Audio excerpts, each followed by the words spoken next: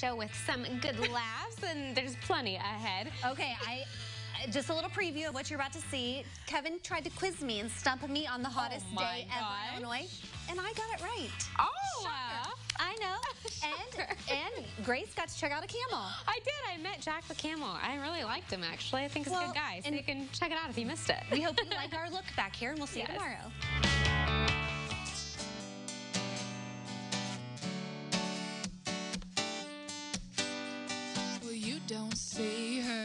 Shopping round every time you look away.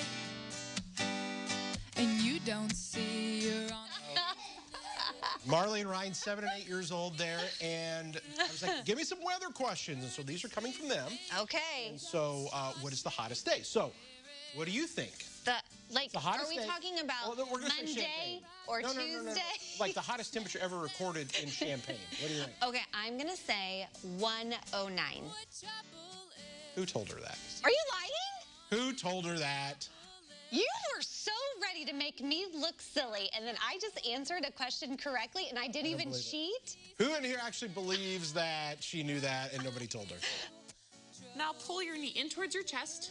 Ooh, that feels good now. Oh, great. Nice, nice flex, but push away. So I like to pretend um, that I'm pushing someone off the couch. Oh, night train. She's not talking about you. Not at all. No.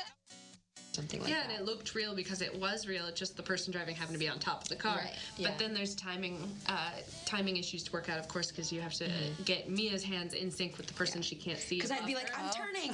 yeah, And then the car's not actually the turning. car's not turning, so it's like over walkie. You'll be like three, two, one, swerve. So that way, both people hear it in the in their Mm-hmm. Yeah. ear, and then. And I think it was really great because all the all the cars that are like around us that we interact with were actually being driven and stuff. So I could like react to seeing, oh, the van's behind us that's like getting closer, honking or whatever, and like I could react to those things. Yeah, I usually spend a lot of time riding and, uh, of course, shopping. Well, Of course. Oh my word, a girl after my own heart. Okay, let's talk boy trouble. All right. Do we need to drop a name? I'm kidding. I'm totally kidding. We won't do that on TV here. Not here. on TV. No. So who is Jabari? Jabari is a little boy. This book is called Jabari Jumps. It is an absolutely fantastic picture book for kids.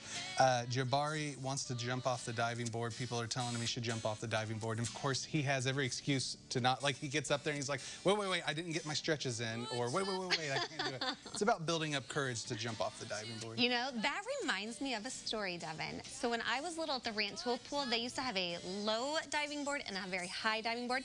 And I went to go get in line for the high diving board, and I was gung-ho ready to go, and my mom said, are you sure you want to do that?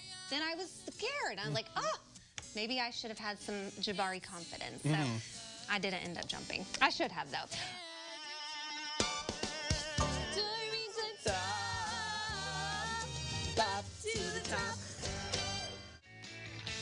And today on CI Living, we are getting up close and personal with the animals at Scovill Zoo. Just wait until you see what food item the canimal, canimal,